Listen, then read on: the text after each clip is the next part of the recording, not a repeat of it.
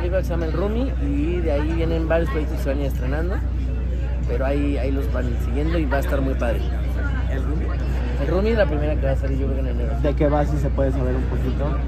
¿De qué irá? ¿De cuál? ¿De cuál? El Rumi. De- ¿De qué era?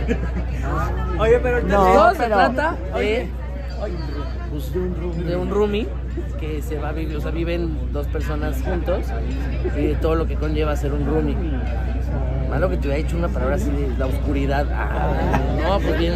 Oye, no, en ese sentido, ¿qué tan difícil es? Me imagino que ahora las parejas ya no, ya no quieren vivir juntas, ya cada quien por separado. ¿Lo han aplicado ustedes o juntos ya? No, cada quien en su casa. Depende de muchas cosas. Yo, ves que antes se empezó a usar de como muéganos. Después, que cada quien en su cuarto por cualquier cosa. Ahorita se ha usado mucho de cada quien en su casa. Pues depende. O sea, hay personas con que te puedes quedar mejor en, en una casa, o personas que dices, no, pues cada quien en su casa, o su, su independencia.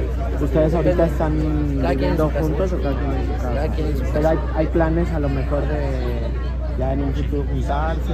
Pues ahorita estamos bien así, ya más en el futuro veremos a ver qué, qué perros salen más. perros. Oye, pero lo dices, es cierto, ¿no? Muchas veces aunque se casen y ya tengan una familia, tener esa parte de la privacidad de en su cuarto que sea una buena relación, ¿no?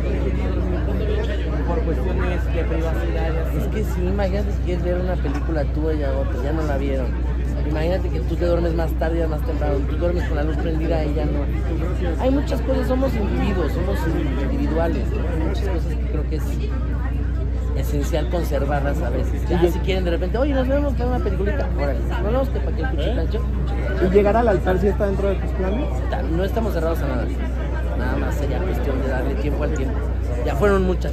Ya, nos vemos.